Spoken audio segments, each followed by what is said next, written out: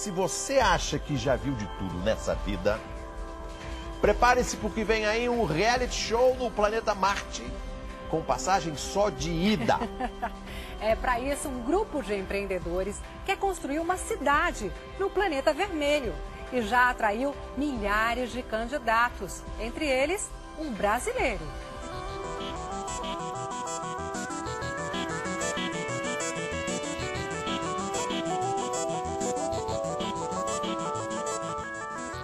Planeta a milhões de quilômetros da Terra.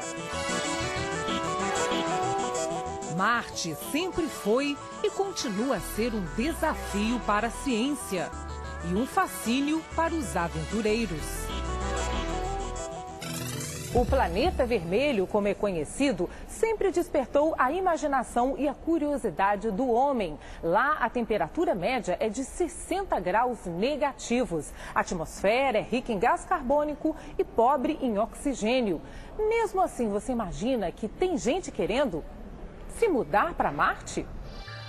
O projeto de colonizar o planeta foi lançado por uma ONG holandesa. O presidente da Mars One comparou a missão à ida do homem à Lua e disse que o projeto pode mudar o mundo. Os primeiros cálculos indicam que o projeto vai custar 6 bilhões de dólares, mais de 12 bilhões de reais. E o mais incrível, a viagem é só de ida. Os participantes vão viver para sempre no planeta vermelho. É aí que o astrônomo pergunta: e se o dinheiro do projeto, que deve vir de empresas privadas, acabar? Deixou que surgiu o interesse daquilo, as pessoas param de aportar verba. Para de aportar verba, você está condenando aquelas pessoas lá à morte. Não é só que você não vai voltar é que você não vai voltar e vai morrer logo. Mesmo assim, 80 mil pessoas se inscreveram e parecem animadas. Os candidatos expõem suas qualidades e seu estilo para receber votos e vencer a concorrência. Um deles tentou reproduzir a figura de um marciano. Entre os inscritos, encontramos um brasileiro. O jornalista João Leal. O domingo espetacular foi até São Pedro da Serra, distrito de Nova Friburgo, na região serrana do Rio, para conhecer este brasileiro que sonha em viver tão longe. Olá, João, tudo bem? Tudo. Como vai? Prazer. Tudo bom? bom? Tudo Podemos entrar? Claro. João Carlos Leal mora com a mulher Elaine e o filho Lucas, de 11 anos, em uma pousada no meio das montanhas. E, João, você vai querer trocar tudo isso para morar lá em Marte, naquele ambiente inóspito? Fácil não é, né? Você largar a família, abandonar até esse lugar aqui maravilhoso que eu moro. Mas é, um, é, aquela coisa que eu falo, é um sonho de criança. Você é, é raro você poder realizar um sonho desse tipo, né? Há quem diga que João Carlos é louco. Mas acho que eu sou maluco. As pessoas acham? a maioria acha. Mas acham divertida a ideia. Acham. Algumas pessoas acham corajosa, outras pessoas. A maior parte acha que é uma loucura e tende a achar que isso não vai acontecer. Mas você vai ter coragem de colocar o pé dentro da nave vou. e partir? Na hora que eu tiver essa possibilidade, se me, derem, se me derem essa chance, eu vou. Eu vou. Você é o quê? Corajoso? O quê? Como é que você se Não, define? eu sou sonhador. Para realizar o sonho, João vai passar por uma seleção rigorosa. Apenas 24 pessoas serão escolhidas para essa viagem sem volta. Serão sete anos de treinamento em condições parecidas com as de Marte. Ir a Marte é algo que se, que se estuda de forma concreta. Isso é, é algo que nós sabemos já há algum tempo que se trabalha nesse sentido, de mandar um, um voo tripulado para Marte.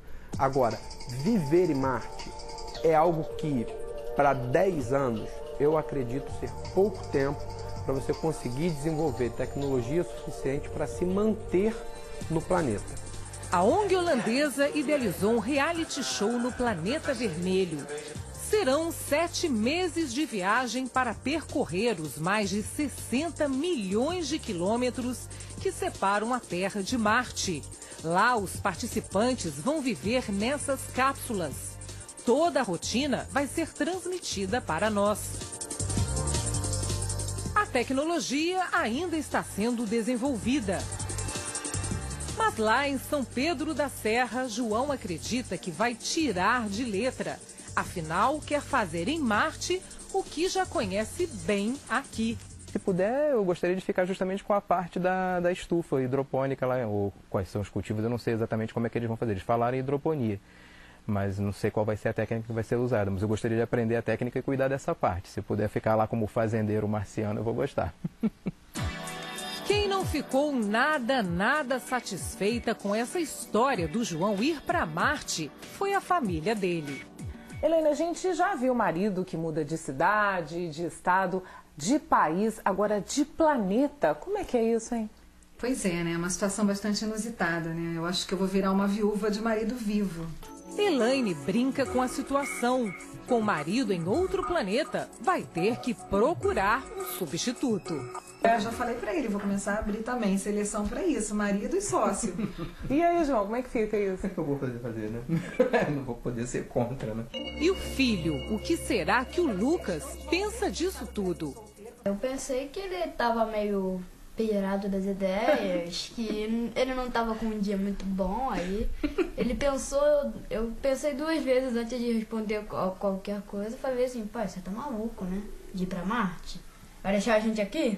Como não tem volta, não acho que isso seria uma ideia muito inteligente, mas. Quando você olha para ah. cima e visualiza os planetas, como é que você imagina que vai ser a sua vida lá em Marte? Eu estou muito entusiasmado com a ideia, embora a maioria das pessoas ache que seja um ambiente muito inóspito demais, muito sem graça até, mas para mim que sempre curti Marte, sempre curti essa ideia de vi viver em outro planeta, eu acho que vai ser bem legal. Como a viagem está marcada só para 2023, a família ainda tem esperança. João terá muito tempo e decidir o que é melhor a aventura no planeta vermelho ou a paz dessas montanhas verdes.